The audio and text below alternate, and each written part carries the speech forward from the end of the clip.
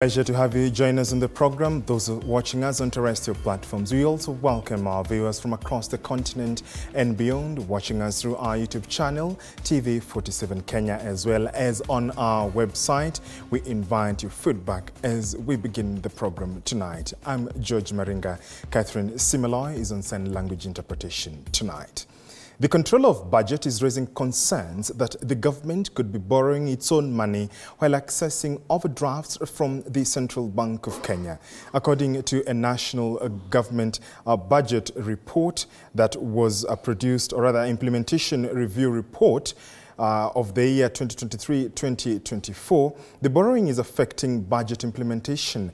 Other issues adversely affecting budget implementation include growth in travel expenditure, public debt exceeding legal limit, and increase in pending bills. Moiga William opens our broadcast tonight with the details of that report of how much the, the Controller of Budget Review report for the period covering 1st of July 2023 to the 31st of March 2024 shows that the central bank overdraft charges increased by 105% in the current review period compared to similar period in the financial year 2022-2023.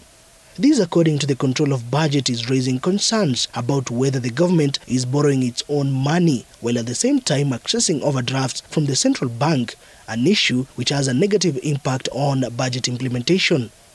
The Controller of Budget recommends the adoption of the Treasury single account, arguing the move will significantly improve transparency and accountability in the use of public funds, even as an increase in gross expenditure for the national government increased significantly for the period under review.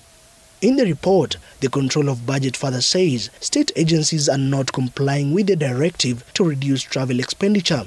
12.33 billion shillings was used for domestic travel, while 5.85 billion shillings was spent on foreign travel, an increase of 29.2% growth over the same period in the last financial year.